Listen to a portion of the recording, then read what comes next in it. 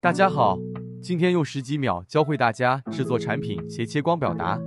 用魔棒或钢笔工具，选择要做斜切光的部分，建立新图层，Alt 加 Del 填充，Ctrl 加 D 取消选区。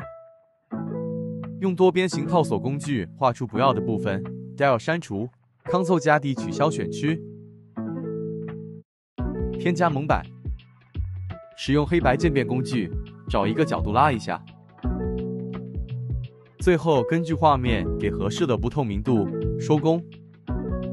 实用的话，赶紧点赞收藏吧。